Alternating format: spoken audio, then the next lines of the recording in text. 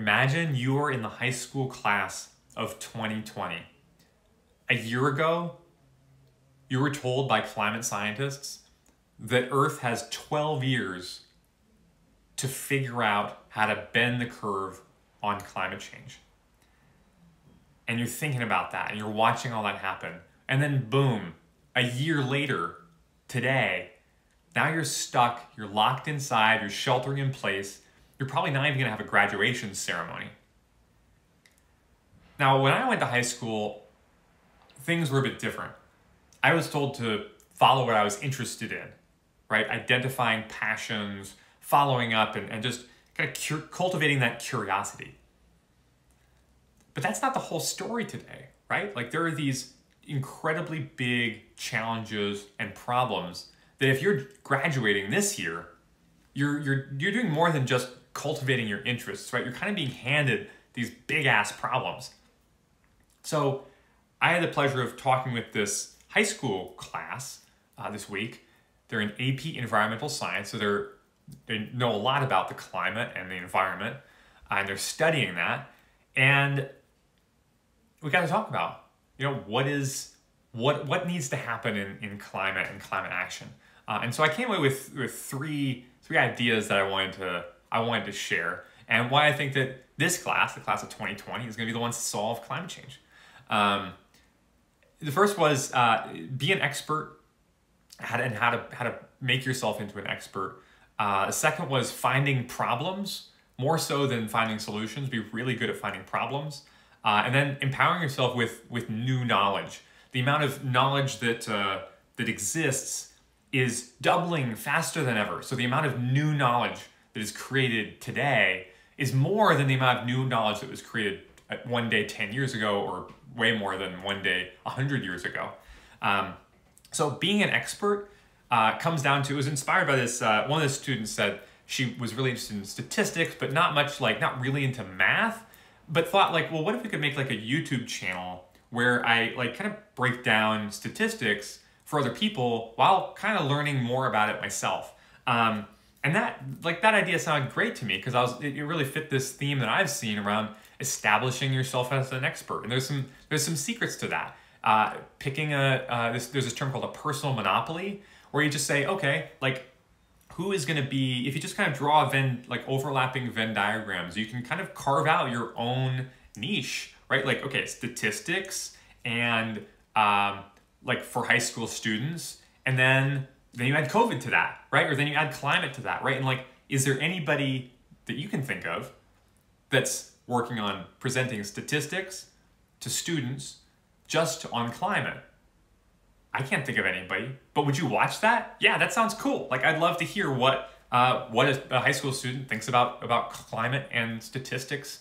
Uh, that sounds that sounds really cool. So and it's a way to in addition to being being interesting, it's it's a way to establish expertise. That idea that you know expertise is something that's uh, in the good case, it's something that's that's desired, right? It's it's interesting, um, and it's it's something that's at this intersection. That's it's also um, it's interesting and it's uh, it's rare or it, it doesn't already exist. Uh, so that's you know to me that's that's kind of a secret for for being uh, creating a, an expertise or a personal monopoly is picking a, a bunch of topics and then having them overlap so that you're you know you're the only person that's in the world potentially that's that's doing that, and then you really own that space. Um, the second was finding problems, not solutions, uh, and this came from Mark, uh, who's a designer, and he said, you know, designers often are perceived as this like we come in and solve problems, but really it's so much more about uh, finding problems, like identifying problems, and I think that's that's a really good message for the climate, for anybody that wants to work in, in climate solutions, because it can seem so obvious, right? The climate's changing, duh.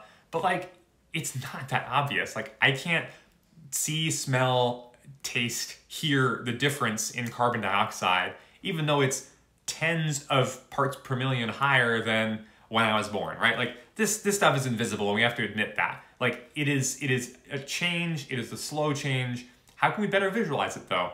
Um, how do we help find these these problems? How do you take that climate change? Like climate change isn't really a problem. You have to find what is what is the problem there. Uh, so one of these students was really inspiring. She was working on upcycling used shoes, basically taking shoes, you know, and uh, sh- shoes are worn, you know, they're not as good anymore, and then painting them. So you can like remake shoes that are potentially even better than they were when you started by repainting them, making them, making them instead of something that came off the off the shelf at Nike, now they're like your shoes. Um, so I think there's something to this, this idea of uh, finding finding problems, and I've seen that a lot in the in the climate space. Is people that um, start with you know start with a problem instead of kind of looking for looking for solutions. I think it's it's harder than it looks. It's easy, I think, with, with the climate world to say, oh yeah, things are like, we know what the problems are. I'd, I'd say it doesn't seem like we really do. Um, and lastly was empowering yourself with, with new knowledge.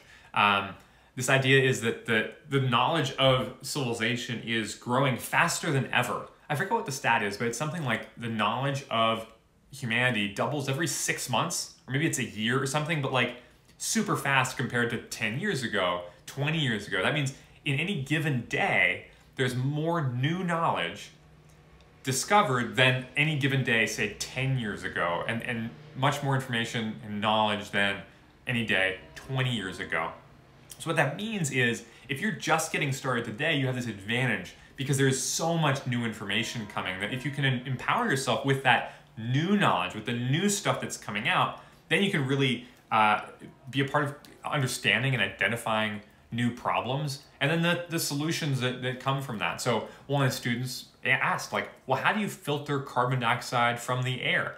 And how do you then take the carbon dioxide and turn it into a powder? We were talking about the, the negative bracelet. Like, how do you do that? That is totally, that's like new knowledge. I mean, the, the tools for direct air capture are still, the fundamentals are still being invented and still being piloted um, there's been some obviously some great work and some great discoveries there, but just think about what we know about direct capture. Like, what more are we learning every day? And if you can master that, if you can become a, a really knowledgeable about what's new, then that can help set you set you ahead. So it was a great conversation with these students. Um, I, I came away really inspired about the the opportunities and the challenges uh, before them and yeah, these, these three tips, maybe these are useful for you. Uh, how to establish yourself as a climate expert, uh, how to find problems, not being worried so much about the solution, but actually climate change itself is a, you have to nail down what the actual problem is. It sounds like a problem, and it, it is at like a really high level, but actually something that you can take action on. You have to find the problem itself, uh, and then empower yourself with new knowledge. In the climate space, specifically in the carbon capture space, I'd love to see a chart of like what is the knowledge growth in the carbon capture space per day. Is it 1%? Is it 10%? Probably closer to 1%. But like think about if you just went out and learned just what's new in carbon capture. Within a year or two years or three years, if you just studied what's new, you would know all like all the other stuff would just kind of you, you'd outgrow it with new with newness. I'm kind of getting lost in the numbers there, but you get the idea. Um, so establish yourself as a climate expert uh, by by picking you know picking a personal monopoly. Uh, focus on finding finding problems uh, by potentially like starting in your in your town or in your your local region, um, and then empowering yourself with new knowledge. Like pay attention to what's changing in whether it's carbon capture or some other climate topic that you're interested in. Just follow follow the new stuff, and you'll quickly outgrow all the knowledge that was that was figured out beforehand. Um, so check it out. Let me know what you think. Maybe you have a, a fourth tip